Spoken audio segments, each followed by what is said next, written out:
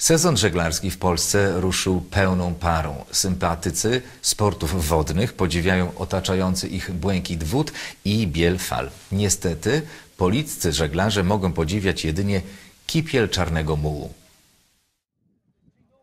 W poniedziałek, 7 czerwca, Społeczny Komitet Ratowania Łarpi zorganizował wizję lokalną na Polickiej Rzece dla przedstawicieli mediów. Wodniacy poprowadzili jachty wzdłuż wydzielonego przez firmę Hyundai toru wodnego oznaczonego bojami.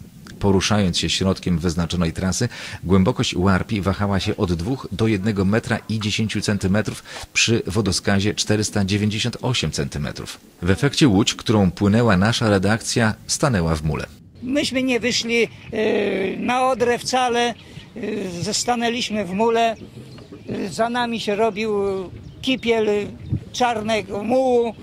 Wyznaczony tor wodny ma szerokość 20 metrów. Jak twierdzą wodniacy, przy tak niskiej głębokości swobodne przepłynięcie dwóch jednostek koło siebie jest praktycznie niemożliwe.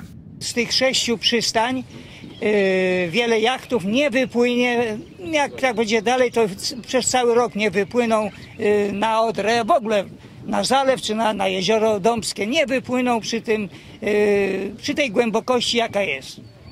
A głębokość e, pokazana tu była różna. Od dwóch metrów do metra 10, metra 20 i tak dalej. No to, to jest taka sytuacja, która trzeba, ja nie wiem w jaki sposób, no trzeba interweniować. No, żeby coś zrobić, to trzeba ostro interweniować, nie ma innego wyjścia.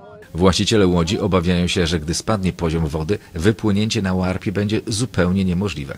Zamulona woda to nie tylko problem dla żeglarzy, ale także zagrożenie dla roślin i zwierząt żyjących na terenach wodnych. Społeczny Komitet Ratowania Łarpi zapowiada dalsze działania, które się nie zakończą, dopóki rzeka nie wróci do stanu sprzed szkody środowiskowej, która powstała w grudniu 2020 roku.